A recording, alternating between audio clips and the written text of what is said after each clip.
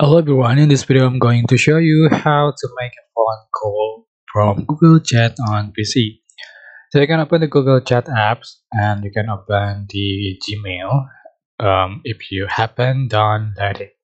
So okay, um, select the message, the direct message with the person that you want to call. For example.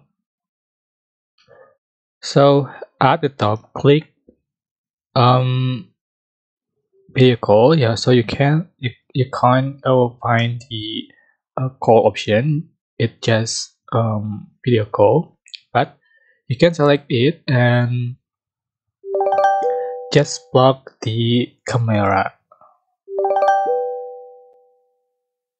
That's it.